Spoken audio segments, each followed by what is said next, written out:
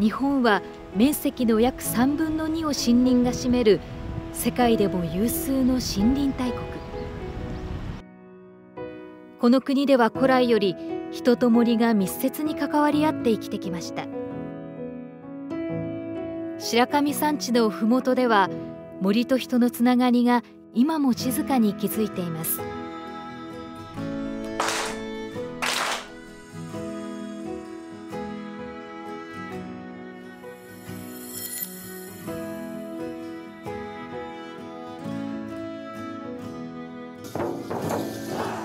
秋田県藤里町。白神山地という名前が広まる以前から里の人々は白神の森とともに暮らしてきました。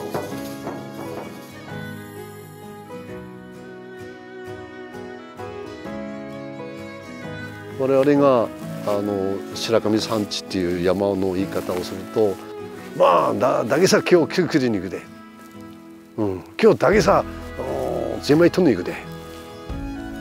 だからだけっていいからなんですよ。里に暮らす人々にとって山の恵みが生活の糧でした。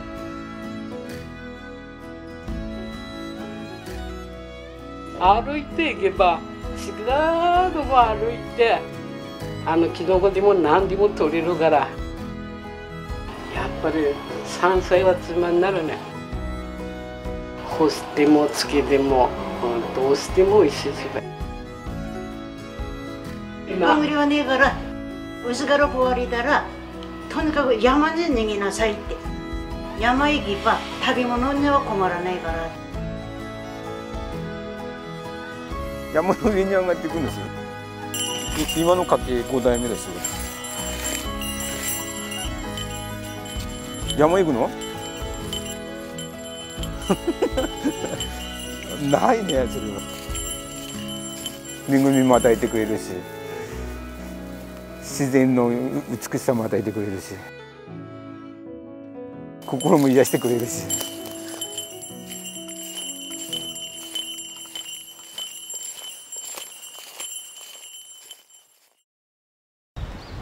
恵みを与える自然を人は深く敬い感謝の念を捧げてきました。その典型が12月12日に行われる三神祭。この日掟によって山に入ることは禁じられています。その代わり里で祭りを催し山の神様に祈りを捧げてきました。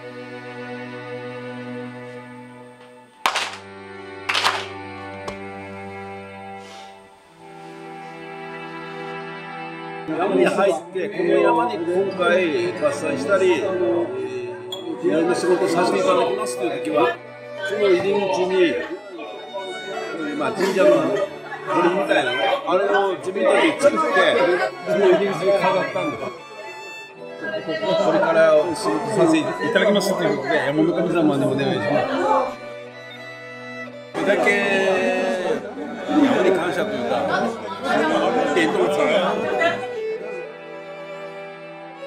森っていうのはもう世界中で森がいっぱいあって特に人間はその恩恵をあの受けてると思います。まあ、空気だったり、えそれから水だったりそれといい土がやっぱりね山から流れて我々はその土で耕して、えー、生きてきましたよね。ですから私方はあの山も尊敬するし森も尊敬するし敬う気持ちもものすごくあります知らず知らずの間に山から受け取っている空気水土の恵み住む場所や生きる時代が違っても山と人のつながりはこの里に生きる人々と違いはないのかもしれません。宝の山だよと悪いっても空でも帰ってくる人なんて誰もいないもの。山ですか？宝だし人類人に人類人間にとってやっぱり山が宝じゃないですか。あの私にとって白神山地はねまあ親みたいなもんですわ。えー、いろんなことを教えてくれたそして育ててくれた第四ある森だと思ってます。それと人と森のつながりを教えてくれた森でもあります。ですので本当に感謝しかないですね、ええ、山と人。